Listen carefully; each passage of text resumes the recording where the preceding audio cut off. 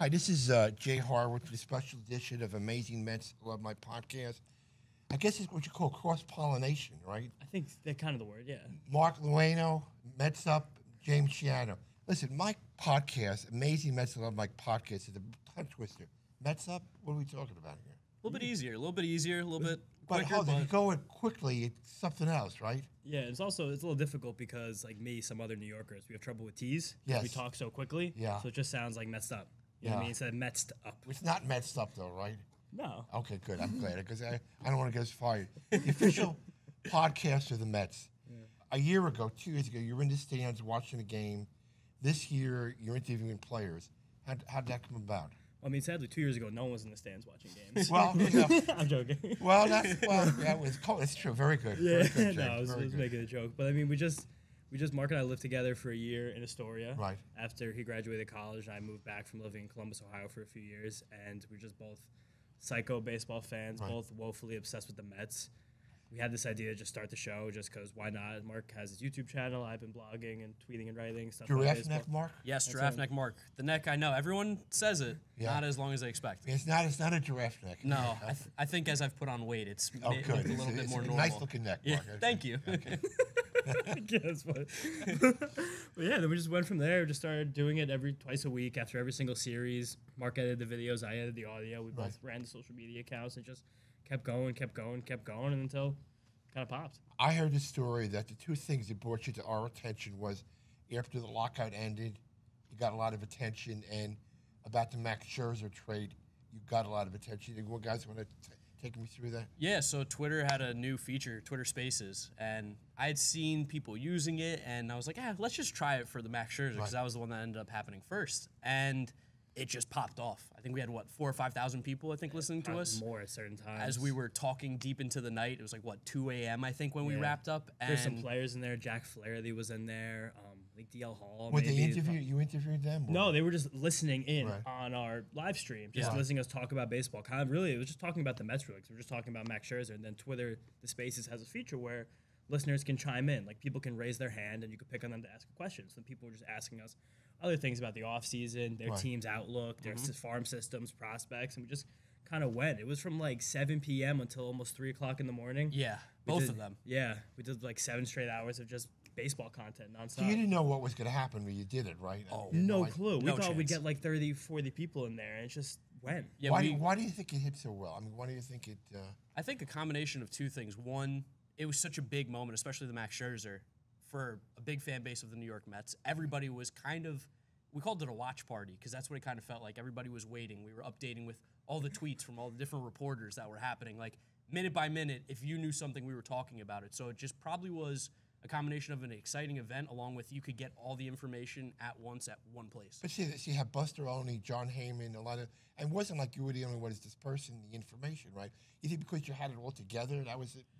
We we said jokes for a while that we had like the most popular Twitter space, not even about baseball ever, for a Right. certain amount of months. Basically, until there was like a big college football Yeah. story, I think, and the Barstool guys raided the Twitter space back in the spring. But I think we're just accessible, you know. Like we were taking questions from anybody who wanted to ask. Like Joe was- Fan would able to. Absolutely. Exactly. Everyone just a- and you, we we could talk to you about anything. Like we're talking about the Mets and Max Scherzer. If you want to talk to us about the Detroit Tigers, or the Seattle Mariners, or the Washington Nationals, like we'll have an answer for you.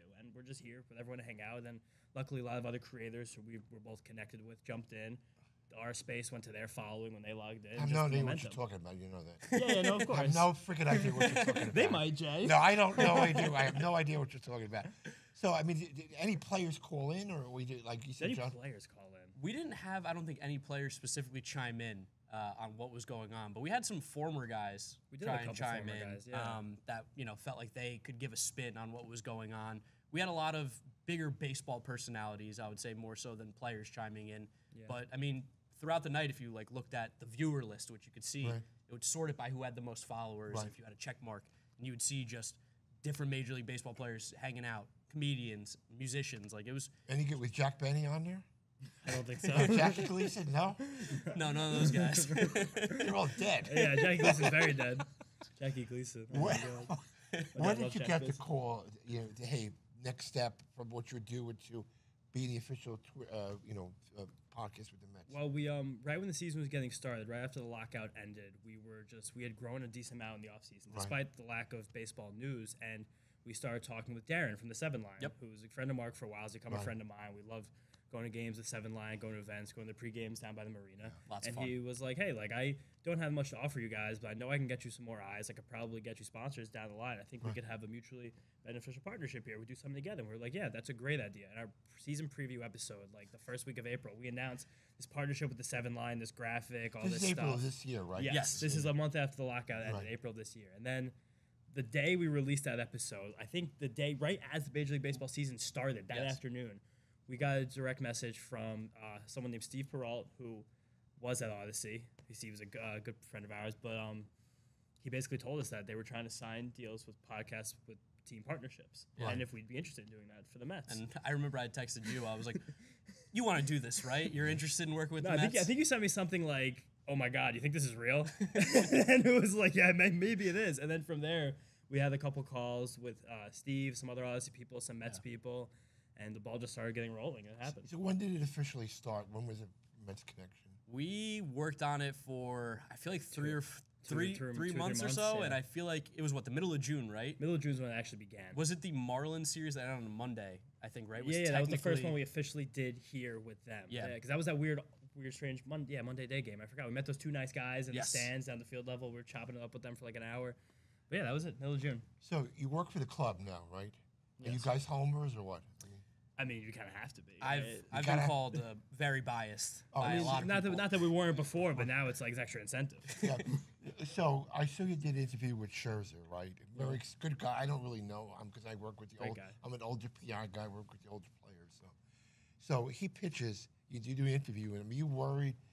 I mean, what did you say after the playoffs? Uh, uh, we didn't do anything. I mean, about we just said like, I mean, as honest as we could. Like, he just didn't pitch his best game. Like, he knows that. I'm not. Yeah. I'm not going to say anything about Max Scherzer as, as a person or as Right. a player, the whole body of work. But I mean, anyone, any person who's watched baseball all for the last decade plus knows Right. that that Friday night Max Scherzer did not pitch his best game. I think, and it's easy to say that and not really causes any kind of strife with anybody, while also maybe people respecting your opinion. Yes, we try to make sure that like whatever we say doesn't feel personal. We want to make sure that it's And nor, very and much. nor that it ever should be. yeah, no. Let me give you an crazy. example. Bob Murphy, probably being way too young to remember. Bob Murphy was a radio guy. With the original guy was Lindsey Nelson, Ralph Kiner.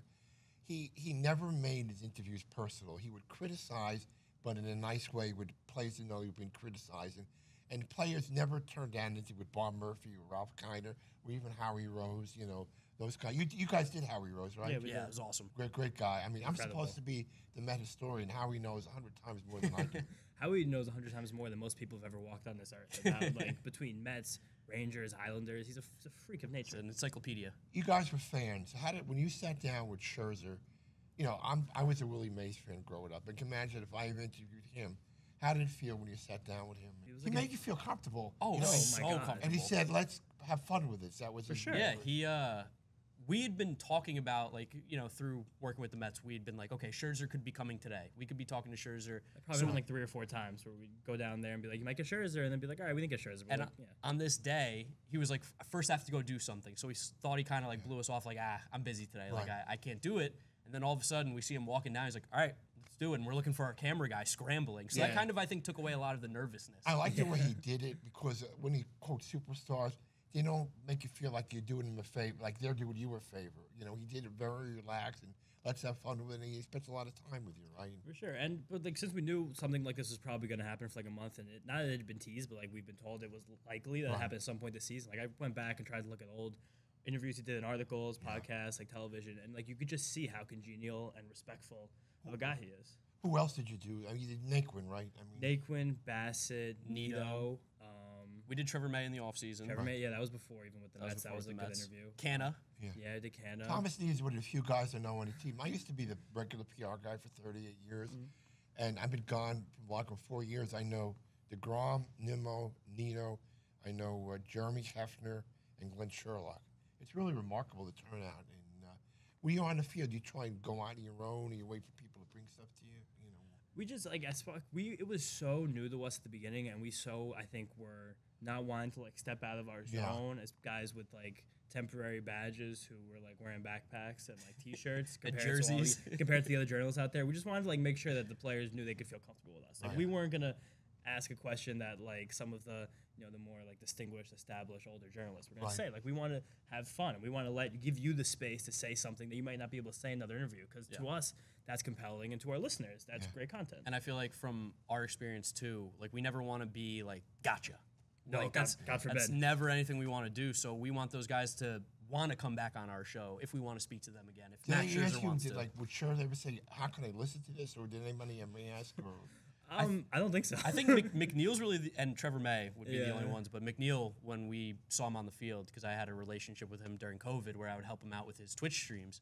Uh, when Wow, he saw us, he was like, forgive me, what's a Twitch screen? gaming, video games, video forgive games. He's playing video games so people can watch him while he's yeah, live. playing video games live. Yeah. Right. So when he saw us, he like congratulated us. He was like, "Congrats on the podcast. That's Yeah. great." Right, So that's that's No, that was, that was a genuine moment. The fact that like a baseball player walked up to us and was like, "Great job, You, guys!" you did your stuff after every series. I mean, Every series. yep. What are your plans for next year? You going to change it around or do the same thing? Now that you're Uh, legitimate? We, You know? we like the every series thing just because I feel like a series is a good it's a good basket of games Right. and like in, in terms of like watching as a fan as a player as a coach as a front office executive like you kind of take in a lot of the season in your Right. series you want to win your series Mets did a really good job of that during the regular season this year so we kind of like taking that snapshot of the two three four games sometimes five in a rare instance like this year and we get we flush it and move on to the next one And I think it's also we really like to dive deep into these games because we're not doing it every day, but we do have it every series. So we want to make sure that we cover all the things that are important. Where sometimes when you do a week long podcast, if you're talking about a week's worth of games, you can Right. miss a lot of the I don't want to Yeah. say minutia, but little things that oh, happen. Oh yeah, because there's sometimes there's a decision that happens in the seventh inning of a game that maybe didn't impact that game Right. itself, but like you could kind of see like the foreshadowing of how that decision would impact the decision down the line. That might be more important the way a player was used, that that kind of stuff. Somebody told me you don't think David Wright was a good player. Is that true? I don't think anyone said that. Really? I got bad information. I That's his so. favorite player. yeah, it is. Oh, I was just Yeah, kidding. I love David. I Let me say this: is I worked with David for this whole career, and as good a player as he was, he was a hundred times better person. yeah, everyone says that. He founded his own foundation when he was 20. His father was a policeman and did a lot of charity work. And except for the injuries, to me, he would be. He's just 39. I think he's 40 Yeah. in November, oh, December, and you know, right on the plane for Hall of Fame. you Yeah. know. would have been. I mean, he was he was so incredibly talented, and like even the the sample that we got to watch him play, like that's still incredible as a Mets fan. He was also like so important to the franchise as a person. Like he was just that exact perfect superstar that everyone He, dreams he about. got it. You know the expression. He got it. He, he was great with the media. Yep. He was more amenable to stand in front of his locker when he had a bad game. Like he would take the brunt. Like when locker room works, the pitcher usually is the first guy there, but he always took the bullet. He said, "Let me let me answer for this. We got no, we got one handed. he would stand in front of his locker." But he didn't like to talk about himself. And in his last couple of years when he played, he had to take two two two and a half hours to get ready for a game, and he worked so hard to get ready for that last game because he wanted to get on the field for his young kids, you know. And he, he worked so hard to get there, but he's still a close friend. But really, he's uh, hopefully you get a chance to. You've never really interviewed him, then. No, Oh, never even, not even really, not even ever interviewed him high, at all. high on the list. Yeah. I had yeah, probably my number one. I had a moment where um I was visiting friends out in Los Angeles this past spring, and Right. they live in Santa Monica. And I think David now lives somewhere around there. Right, he does. And um we were just at some sports bar to watch March Madness, and it was like a New York-ish sports bar. They had Mets stuff, Yankee stuff, Jet stuff, Giant stuff all over. And I'm wearing a Mets shirt. My friend was wearing a Mets hat. Just random day March, getting excited for the season. Some random guy walks up to us. He goes, "Oh, are you guys Mets fans?" We were like, "Yeah, yeah, yeah. What's going on?" He was like, "You wouldn't believe it. David Wright left here 20 minutes ago."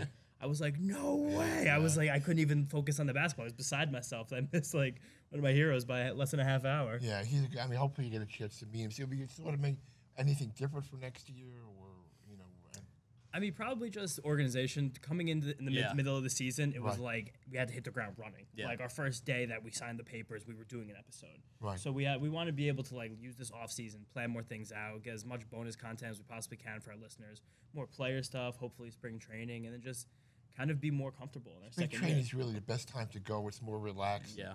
You know, it's you can do other things on the minor league complex, and, you know, and the, the players have more time, and it's mm-hmm. more close with the fans and everything. 'cause Yeah. You're you're trying to get a chance to go down here.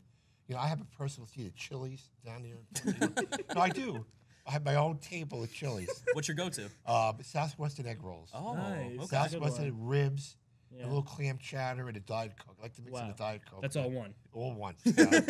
I rotate a little bit. I'm, I'm a sizzling fajitas man myself. Yeah, but you have to go to Chile. You see my, you know, Mike Cameron and Cliff Floyd had a table. I have a table right next to me. Yeah. Oh my goodness. But I, you guys are big Jets fans, I heard too. I'm a big He Jets is. fan. Marcus Com- Commanders. Commanders, Fan. yeah. I'm a big Giants fan. I've seen Nice. since 1958. And you Wow. like college football too, I heard? Love college Yes, football. definitely. Ohio State Buckeye. Yeah, I- I'm, I'm Notre Dame. I got to be Oh. touchdown Jesus last year. Wait, so What's your first, fa- first you comment on his neck, then you used to use the phrase "touchdown Jesus." this is pretty unbelievable. Yeah, I, uh, I'm a South Carolina fan, but if you're a Notre Dame fan, uh, How'd, how'd you come to be a South Carolina I went to school there. I went to school there for uh, five years. I took a victory lap. You can't say four No, years. It that's wasn't all right. true, Pretty but a couple courses. yeah, just Marc also built a business in the meantime. yeah. I was, I built was a YouTube busy. channel. He I did. was He busy. did okay I had, with I had other classwork. priorities. So how, how but- do you get 240,000 people on your YouTube channel? Yeah, no, that's a really good question. Um, you gotta make videos people want to watch. Yeah. I mean, I know that sounds simple, but there was a while where, like, I mean, I'd been doing it for two or three years, and I was sitting around like thirty thousand, and I was like, "What is happening? Why can't I get that push?" I started talking about, you know, actual baseball uh, a little more seriously and in a way that's more entertaining to people, and all of a sudden the numbers started taking off. So. I'm super lucky that people still want to hear what I have to say about teams, even though I am the biased Mets fan. You think you get to go to spring training? Hopefully, you're trying to. I I'd love to. Yeah, I hope so. Right? Yeah. Hopefully, uh, Put- we put it. We put it in the word. We, I mean, I think a lot of people are vouching for us. Yeah, I- I'd like to go for sure. it's so, fun. so when did you start? You started doing this two years ago. March of 20 21. yeah, So March 2021. 29. Could you, where have you come to uh, November of 2022? Is it unbelievable where you guys come from? It's, It's it's, shocking. I wake up every single day and can't even comprehend what's going on in like my life. we get to say that we work for the Mets. We get to talk to the Mets players. Like be having the tag of like the official podcast of the New York Mets for a Mets Dude, fan. I'm insulted, by the way. I've been here for 42 years. I'm not the official anything. No, I mean, yeah, you, No, you no, official it's- everything. no, Jay. no, no. You're like the mayor of City Yeah. Field. we're, still, we're still trying to get verified on Twitter. Yeah, well, we yeah, it's it's unbelievable what we've come from to where we are now, and we can't wait to keep going because Yeah. like in our first year, we felt like so much has happened and we've been able to accomplish so much, but we have like such higher goals for what we can actually do and. I mean, having the Mets backing us and helping us is something I don't think I ever thought I was going to say. Well, Yeah, it's almost like we couldn't even realize it until the season actually ended, and then you kind of woke up like two days later, you're like, what, what did we just do for the last three months? It's like a- what actually happened? A rush. It's a great human interest story, guys. Coming down. I'm sure a lot of fans like to be in your shoes, you know. Probably inf- infinite amount. Well, well, it was really good to do a little cross pollination with the two videos. course, for sure. To, uh, We have to get you on ours now. I, my, my pleasure. I have a feed, you know what I mean? Oh, okay. Uh, well, I think the, Mets will cover yeah. that. No, Yeah, no, they won't. But That's anyway, actual but, all right. cross-pollination. Best of luck with you guys, okay? Thank you, Jay. Thank, Thank you. you, Jay. Take, take care, man.